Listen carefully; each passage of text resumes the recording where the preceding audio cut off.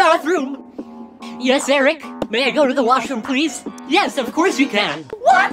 How can I help you, Luke? Can I go to the bathroom, please? You'll have to wait until Eric comes back. Ah!